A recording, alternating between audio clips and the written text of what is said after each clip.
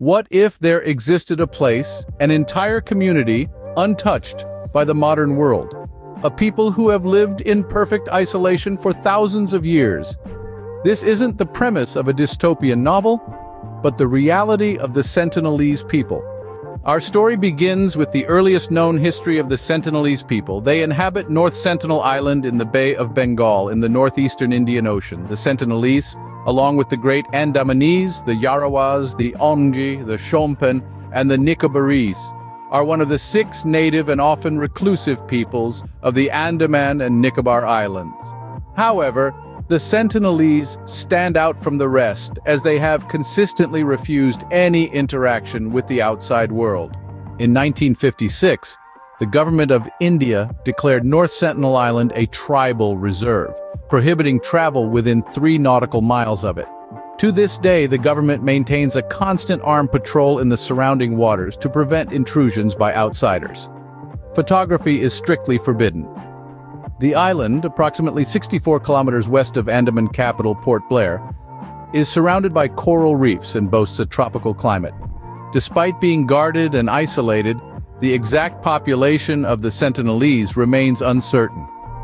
Estimates range between 15 and 500 individuals, but most fall between 50 and 200. Conducting a rigorous census is a challenging task due to their isolation and hostility towards outsiders.